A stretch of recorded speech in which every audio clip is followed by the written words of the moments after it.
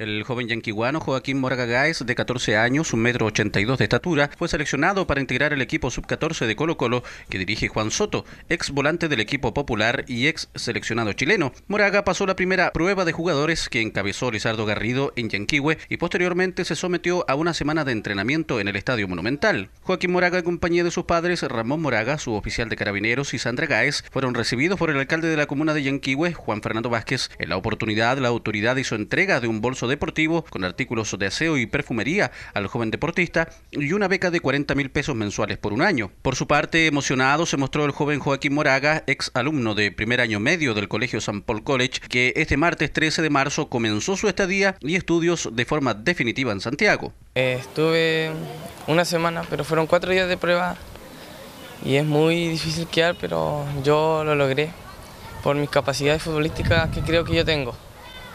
¿Qué te ha dicho la gente, tus amigos? Tu... Nada, me felicitan por todo el esfuerzo porque yo me he sacrificado bastante por conseguir algo que quiero. Y ahora eso es lo que tú quieres ser definitivamente profesional.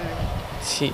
Jugar en el primer equipo. ¿no? Sí, el sueño de Tony yo creo que es el jugador de Colo Colo y debutar profesionalmente.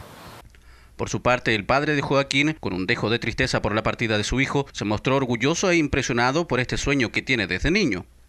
Eh, es un sueño que yo creo que todo niño lo tiene y él de, niño le gustaba, le el fútbol y la verdad que es realmente impresionante lo que nos está sucediendo con él y si él lo quiere así, nosotros como familia lo vamos a apoyar hasta el vamos a llegar donde él llegue.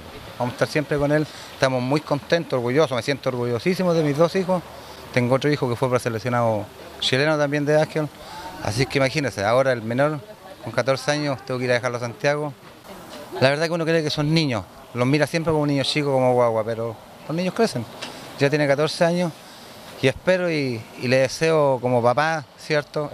Brindar todo el apoyo que pueda y que deje bien puesto el nombre de Yanquivo de nuestra comuna.